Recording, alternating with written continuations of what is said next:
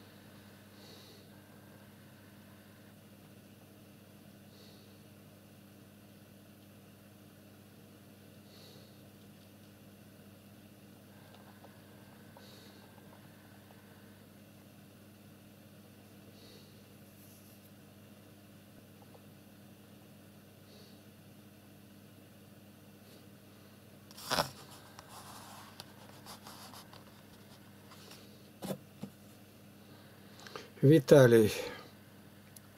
Мир вам, Игнатий Тихонович. На тему абортов какой свой стих посоветуете взять?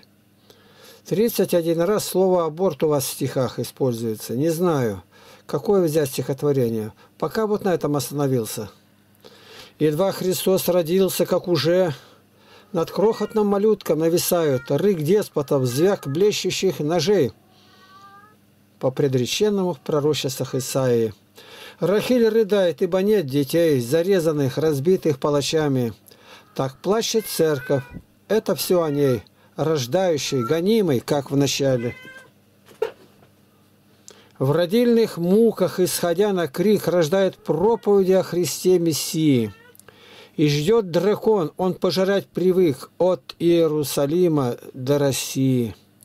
Он пожирал младенцев в водах Нила, всех ухищаясь выбросить за борт – 20 век наука научила прервать беременность, назвавший то аборт.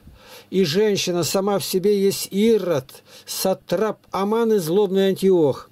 И после этого еще кричать о мире для матерей кровожадных снох вопит Рахиль в неоновом роддоме, но нет детей, они навек убиты.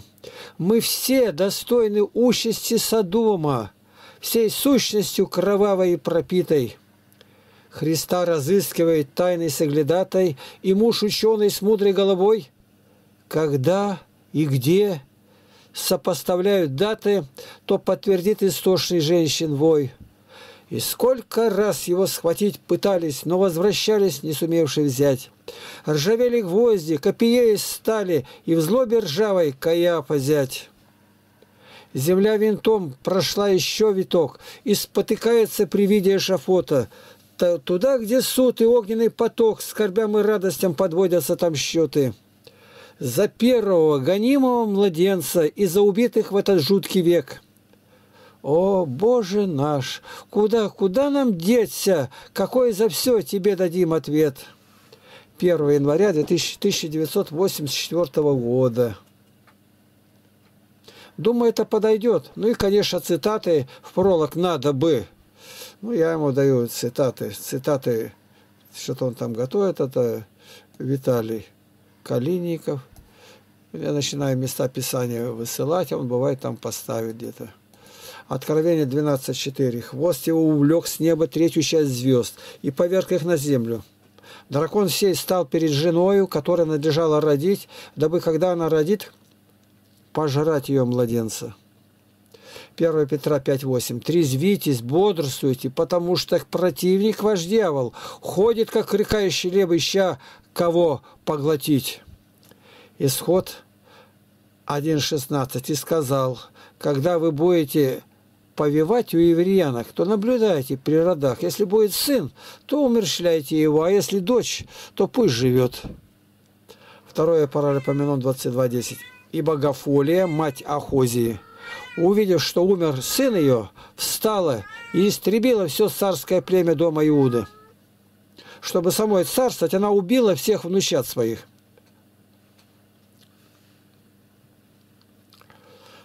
Так. Я писал тут помощнику Сергея Евтушенко – что про ролики, какие он все обработает, тут давал. Виталий, насчет Стерлигова Дмитрий наивничает. У него кишка тонка дискутировать с Игнатием Тихоновичем. И он это прекрасно осознает. Насчет моего пребывания в Потеряевке знаю точно, что была польза и мне, и многим зрителям канала «Во свете Библии». Мы все подобострастны, и люди, смотря на мои потеряевские ситуации, примеряли все это на себя, делали выводы. Спаси Христос, Роман, что даешь повод еще раз сердечно поблагодарить за любовь, молитвы и уроки всем нам, дорогого Отца и наставника в вере. Слава Христу! Да и ИТЛ, исправительно-трудовой лагерь, никто не отменял. Именно для исправления я и был в Потеряевке. Это Калиников Виталий пишет Роману Фроликову. Велком на следующий исправительный год потрудиться и поисправляться, дядя Рома. Велком, не знаю, что это такое. Что за велосипед? Роман, да, Игнатий Тихонович поступает по примеру Господа нашего Иисуса Христа, слава Ему. Он не сразу стал воспитывать скрученными веревками неисполнительные законы-то, не сразу пришел в храм, чтобы не только словом воспитывать непослушных Его Слову. Так Игнатий Тихонович принимает нас к себе в дом, потому что тысячи его проповедей проходят мимо нас. Мы слыша не слышим и видя не видим, поэтому ему приходится гнать нас – обличать нас, когда мы рядом с ним на видео. Но блаженны не видевшие и уверовавшие, то есть исполняющие Слово, при том, что не докучающие Игнатию нашим личным присутствием. И добавка. Наглости вашей нет предела. Те, кто хочет порадоваться при жизни праведника Божия, при этом прекращают подражать Ему, как Он Христу, слава Ему. Ну, кому-то так. Вчера с Стерлиговой разговаривали, и на моем форуме вот такое есть. И последняя исповедь. Фильм тут поставил мне один и говорит, вот посмотрите, Половиков, роман. Я посмотрел исповедь. Начало и конец превышает середину. Батюшкины слова развеют временно, а приведенные вами слова из Святой Библии будут сиять вечно. Иного не было, чтобы не бритый был при столь страшном вопросе. Не было никого такого. А чего так и бегает из стороны в сторону глаза священника, и сколько ему лет? Хороший ролик, но к нему нужно было бы вот эту часть из Святой Библии приложить. Ну, я не просто говорю приложить, а я конкретно указываю. Беру места Писания, в нужную форму привожу их и считаем. Если они не говорят, как это слово, то нет в них света. Матфея 5,16. «Так да светит свет ваш перед людьми». 1 Коринфянам 15.31. «Я каждый день умираю, свидетельствую с том похвалою вашей, братья, которую я имею во Христе Иисусе Господе нашим». Откровение 14.13. «И услышал я голос с неба, говорящий мне, напиши, отныне блаженны мертвые, умирающие в Господе. Ей, говорит Дух, они успокоятся от трудов своих, и дела их идут вслед за ними». Это что, можно эпитафию на плите написать. 1 Фессалоникийцам 4,14. «Ибо если мы веруем, что Иисус умер и воскрес, то и умерших в Иисусе Бог приведет с Ним». 1 Фессалоникийцам 4,16. «Потому что сам Господь при возвещении, при гласе Архангела и трубе Божией сойдет с неба, и мертвые во Христе воскреснут прежде». 1 Фессалоникским 5.10. «Умершего за нас, чтобы мы бодрствуем или спим, жили вместе с Ним». 2 Коринфянам 5.8. Но мы благодушествуем, мы желаем лучше выйти из тела и водвориться у Господа. 2 Тимофея 4.7. «Подвигом добрым я подвязался, очищение совершил, веру сохранил».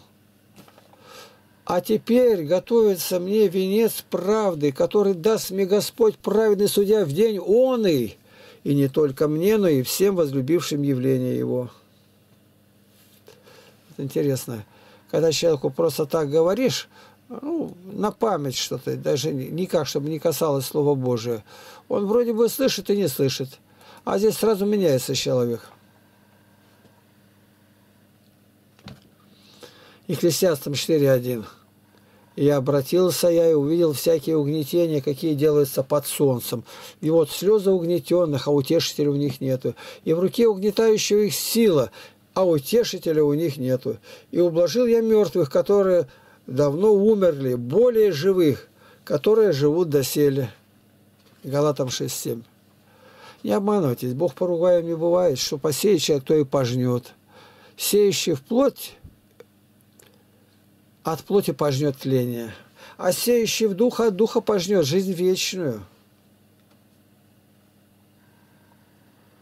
Исайя 57.1. Праведник умирает, и никто не принимает этого сердцу. И мужи благочестивы восхищаются от земли, и никто не помыслит, что праведник восхищается от зла. Лука 16.25. Но Авраам сказал, «Щада, вспомни, что ты получил уже доброе твое в жизни твоей, а Лазарь злое. Ныне же он здесь утешается, а ты страдаешь. Филиппийцам 1, 21, 23. «Ибо для меня жизнь Христос, и смерть приобретение. Если же жизнь по плоти доставляет плод моему делу, то не знаю, что избрать». Вот я конкретно выделяю эти места – показываю, что это еще жирный курсив и Словом Божьим. Если же жизнь во плоти доставляет плод моему делу, то не знаю, что избрать. Влечет меня и то, и другое. Имею желание разрешиться и быть со Христом, потому что это несравненно лучше. Вот как надо понимать. Дахамир, ну что мир – Мир готовит себе погибель. Так здесь это разницы нет. Хас... Где? Римлянам 14.8. А живем ли для Господа живем? Умираем ли для Господа умираем? И потому живем ли и умираем всегда Господни. Вот мы можем здесь тоже выделить. Филиппийцам 1.23. «Влечет меня то и другое, имею желание разрешиться и быть со Христом, потому что это несравненно лучше». Это надо просто представить себе, что мертвому лучше, чем во грехе жить.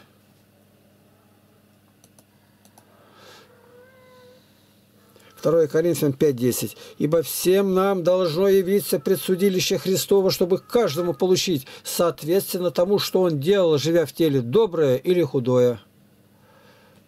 Роман Половиков. Благодарю. Ему 35 лет примерно, священнику. Да, Слово Божие живо и действенно. Это первый опыт, поэтому могут быть недостатки где-то. Сергей Игнатов. Аминь. Мне отмещение я воздам, сказал Господь Бог, да и первомученик Стефан, будучи безвинно побиваемый камнями, молил Бога, не вмените его душегубом этого греха.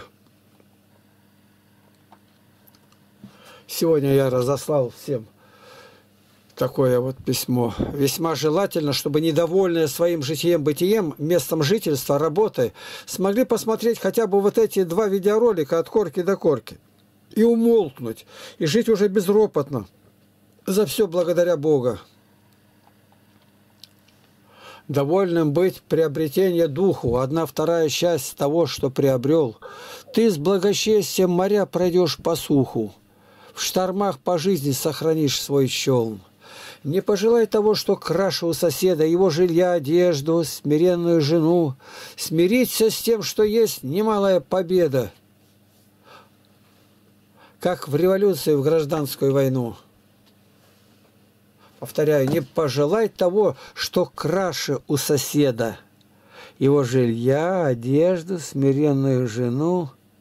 Смириться с тем, что есть немалая победа, как в революцию, в гражданскую войну. Подправь изгибы губ довольствия щенами и подними улыбкой скобку вверх. Из-за спины и в щель всегда следят за нами. На правду и не взглянут, но заприметят грех. Доволен перед зеркалом обличьем своим. Помада и сурьма изъяну не помогут. От укоризны желчной друга отстоим, когда завидуют помалу и помногу. Быть может, у тебя копеечная свечка с заплатами непраздничный костюм, и на груди твоя последняя вещка довольствуется, ничем не соблазняя ум. Угрюмый, злобный вид, все валится из рук, когда в чужом саду богатый урожай. Сосед тебе не враг, хотя еще не друг. Достатками чужими себя не раздражай. За все благодари дарующего ночь, лобзаем длань хранящего, хотя и больно бьет. Жену отвез в роддом, опять родилась дочь. Доверься сотворившему, в душе растает лед. Начальствующим трудно совсем не согрешать. Расчет награда точно, не расстравляя болью, а ропот недовольства все кости сокрушат. Великое богатство – быть всем всегда довольным. 14 сентября 2001 года в Потеряевке. Великое приобретение – быть благочестивым и довольным. Вот два фильма. Жизнь в тундре суровая, тут все по-русски. А здесь с переводом, коми. Национальность такая. Ну, вот кое-что еще приготовил, другие материалы. Вот здесь вот написано Шевченко Николай. Вот я буду проворачивать просто так. Это он показания давал до суда еще следователю.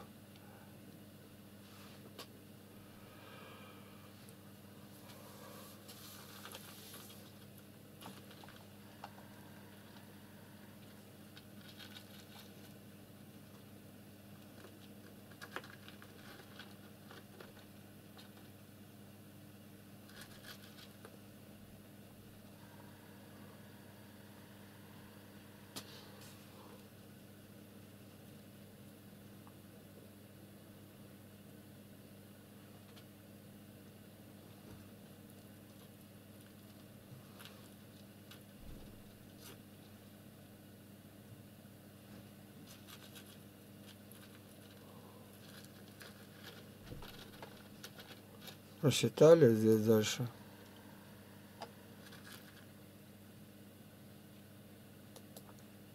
Это из книги «Для слова Божия нет уз». И это все она написала, обращая ваше внимание на недопустимость волокиты и формализма при поступлении заявлений и писем граждан – и требуем ответить 15-дневный срок крайисполкому и заявителям по существу посальных вопросов. Зампред исполкома Надежда Семеновна Ремнева, бывший первый секретарь райкома КПСС Центрального района города Барнаула, а ныне работник краевой администрации. Тут рабочий телефон. И вот это сильно помогло. Потом я ее нашел, познакомились, неоднократно говорили, я ей книги подарил. Вот видите, коснулся в одном месте и сразу ну, есть что взять. Шевченко Николай. А этот приговор, который мне вынесли некоторые судьи, за что я был уголовник, там то другое, ну, еще раз покажу. Я буду быстро проворачивать, а вы сами смотрите.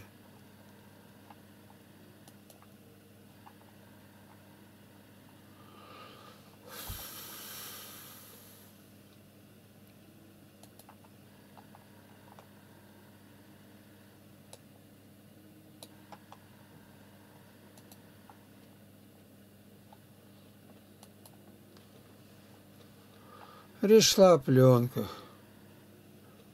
О нашем уповании отца Дмитрия Дудко, вот оно Дудко говорит, совокупность совершенства Рогозина, а то на меня клевещет, дескать, только было за архипелаг ГУЛАГ. Да архипелаг ГУЛАГ даже не поминают здесь. А это у репрессированных брал. Это Рогозина опять же.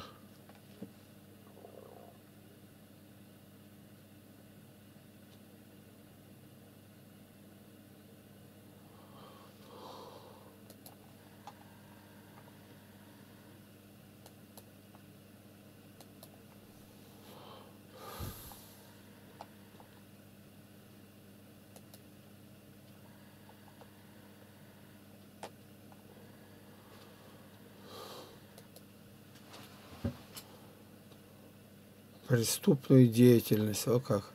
Советская власть, какая она была слабая. Слово сказал, и все рушится. Никто ни во что не верил.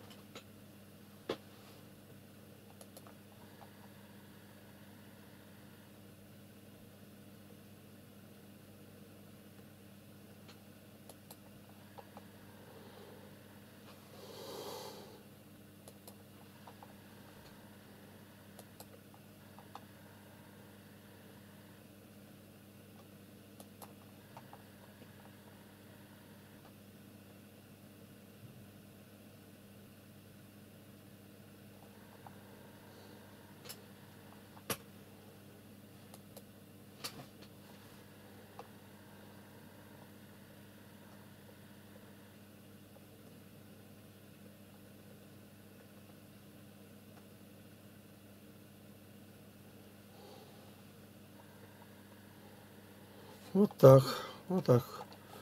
Приговор, кто будет спрашивать, легко показать. Ну и посмотреть наши ресурсы, как всегда. Вот мой мир, я очень люблю его, как выглядит. Там есть я с голубем, там это просто дубль, туда не писать.